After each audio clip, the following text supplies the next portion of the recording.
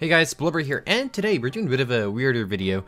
Well, not really weirder video, I've just like never really done this, but it's been requested quite a bit. You guys want to see me uh, review game passes in Greenville. So I've actually come up with a kind of like a grading system for how we're going to be marking this, and we're going to start off with the luxury game pass. I'm going to try to do all the car packs. I don't think I'm going to do like extra garage space because I would have to come up with a whole entire different grading system. But before we hop into the video, you can use the timestamps down below if you just want to get straight to the review. But I'm going to go over the grading system for a moment here just so you guys understand my grading. So this we're going to be grading this uh, Game Pass out of 100. Um, so all the categories are as follows. A variety of cars will be marked out of 10. Quality of cars will be marked out of 10. The price of the Game Pass will be marked by 10. Uh, the impact of the Game Pass, also known as how useful the Game Pass is, will also be marked out of 10, and how it compares to other Game Passes will also be marked out of 10. Now, if you're paying attention, you're going to be like, wait a minute, that only equals 50. Uh, all results will be multiplied by 2. So, for example, if I give it 8 out of 10 for variety cars, that, you know, be 8 out of 10, I times that by 2, which would be 16 out of 20. Like goes for all of them. Uh, also, I'm going to put on screen the grading system we're going to be using. Uh, this is the grading system that my province uses, so I'm just going to use it because it makes mo most sense to me. But yeah, basically 86 to 100 is an A, 73 to 85 is a B, 67 to 72 is C+, plus, 60 to 66 is a C, 50 to 59 is C-, minus, 0 to 48 is an F, and yeah, anyways, uh, let's get straight into the review. So today we are reviewing the Luxury Game Pass. Now, right off the bat, I'm going to say this, this is the best Game Pass Greenville has to offer. And yeah, let's dive into it. So uh, we're going to be jumping into our first category. And yeah, I'll get you guys when we're looking at the cars in the dealership. Okay, so hands down luxury, the luxury Game Pass has probably the most variety of cars. There's a few cars that I feel like should not be in this section. Like I feel like the, the Supra and the S2000 should be in the classic Game Pass, but it is what it is. So I'm going to quickly scroll through these cars. I'm not going to go over every single one. I did pick out three of my favorites from this Game Pass, though. They're cost friendly, so no, it doesn't cost too much. But yeah, this Game Pass has a lot of cool cars for its price. You might think that's not too many, but you also got to consider that uh, sp specific cars have trims that are offered in Luxury Game Pass. So for example, if we choose a, um, let me find a car here.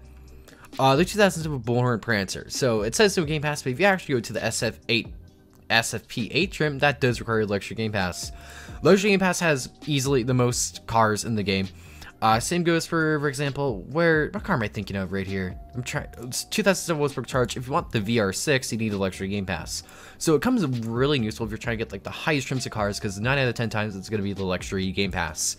So when it comes to variety of cars, I'm going to give this, uh, I, I'm going to give this a 10 out of 10 because compared to all the other Game Passes, this has the most cars and it lets you get all the super high trims of like all the normal cars and yeah, that's just very useful. Now, moving on, we're to be going into the quality of cars, so I'll be back with you guys in just a moment. All right, so these are one of the cars that are featured in the Luxury Game Pass.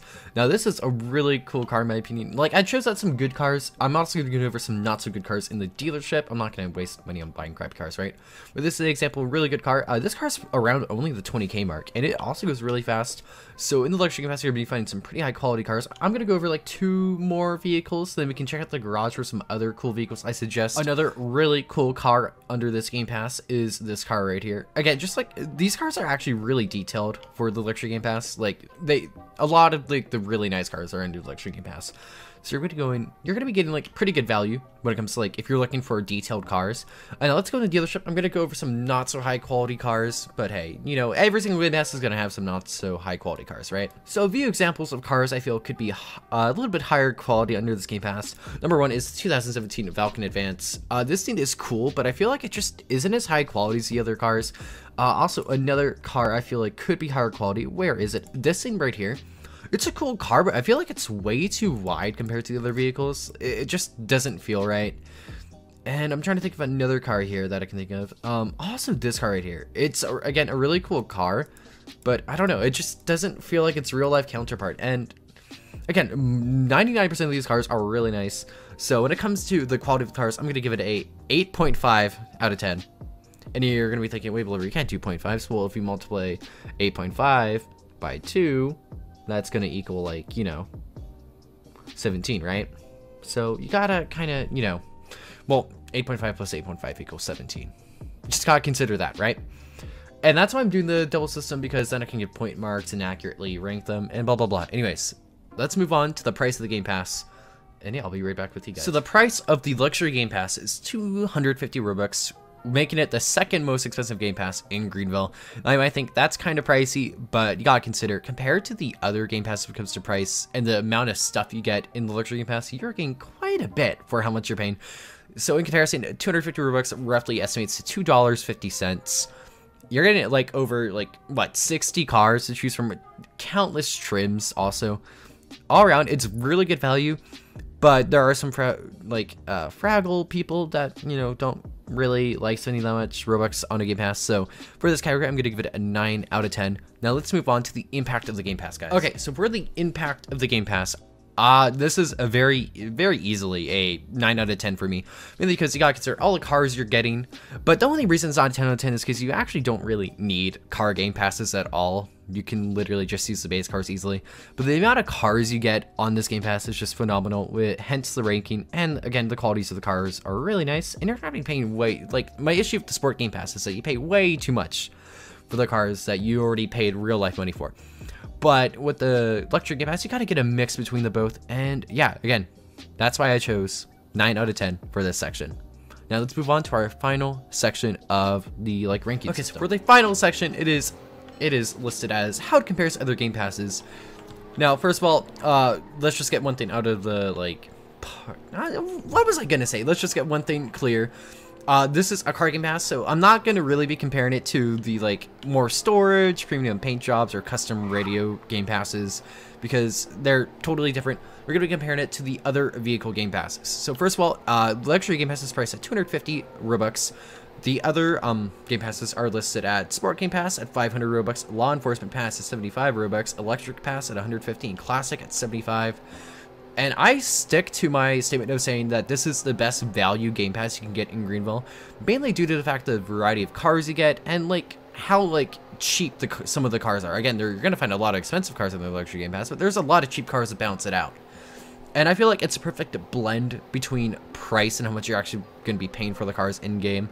And that's why I give this Game Pass 10 out of 10, because this is easily the best Game Pass in the game, guys. So yeah, let's move on to the final section of video where we actually grade this, and yeah, so now we are at the final part of the video. Now I just estimated all the rankings, so as continues. So for variety of cars, we got a 20 out of 20, which is really good score.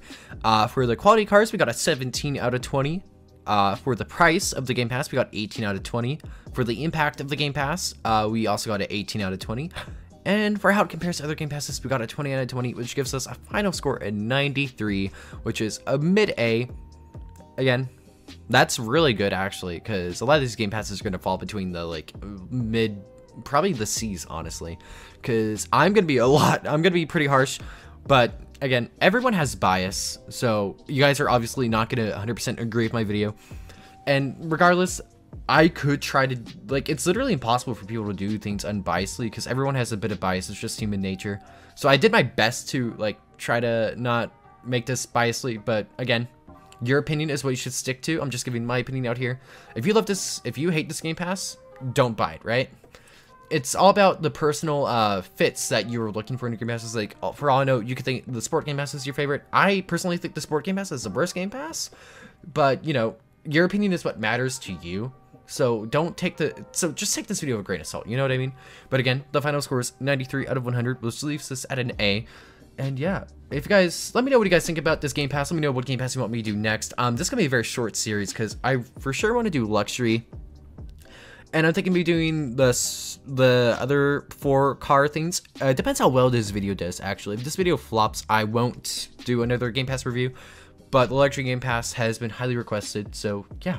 Anyways, hope you guys enjoyed this video, and I'll see you guys next time. Bye, guys.